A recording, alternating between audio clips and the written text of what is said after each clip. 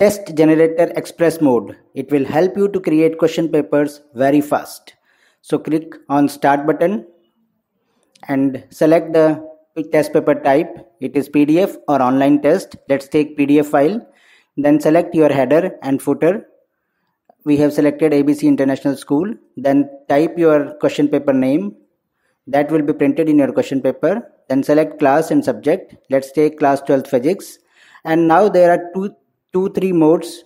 Let's see what these are. First is manual where you can create questions one by one and then express where you can create questions all together and then automated mode where a pre-filled blueprint is provided and you need not to do anything.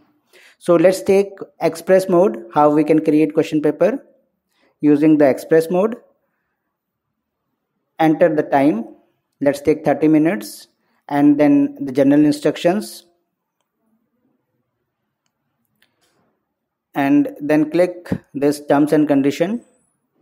Yes uh, and then next. On the next screen you will see all the list of chapters. These are the chapters from class 12 physics. The same way you can create question papers for all other classes also. Let's take first chapter and all the questions from these chapters are displayed here. You just need to enter the required questions. So uh, for one marker mcq we are entering two questions then fill ups let's take uh, three questions. And the same way you will start filling how many questions you need from this chapter. Then chapter by chapter you can select the number of questions. And uh, this way uh, you need not to enter the same thing over and again. Just in one screen you can enter all the data here we have entered all the questions. There are 45 questions, total 80 marks.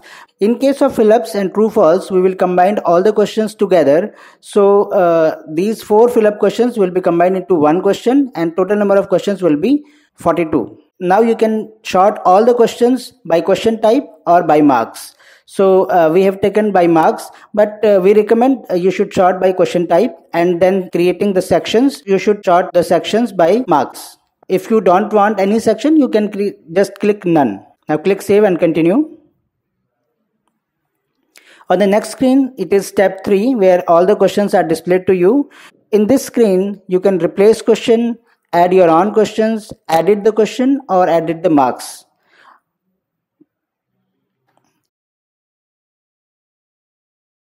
And this is fill in the blank question that is combined into one question this is only a sample data actually. So this is question number 42 now let's replace this question question number 25 and uh, we select any question from and then click replace. This way we can replace the questions.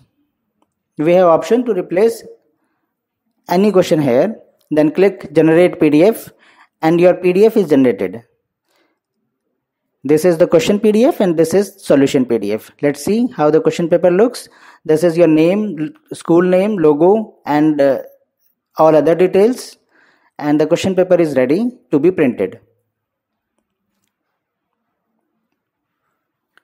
These are the section A and section B and section C that we have created. We recommend the sections to be created by marks, not question type.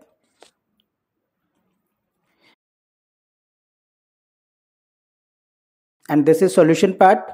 All the solutions are provided here. So this way the question paper with the solution is ready using express mode